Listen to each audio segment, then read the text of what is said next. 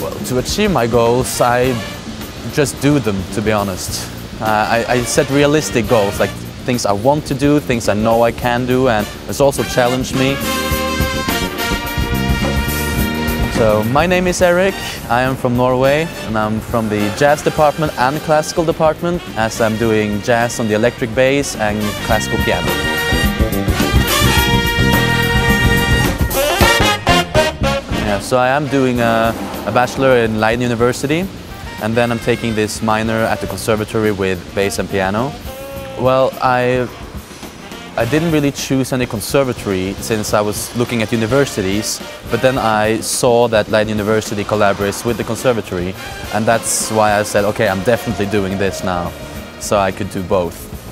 For my future, I kind of like to have it a bit unpredictable, so uh, with this program I'm doing at the conservatory, I can study full-time music afterwards, hopefully, or I could continue with my academic progress, and that's kind of what I like to just have this future where I have these doors open and do like eventually find out what I want to do.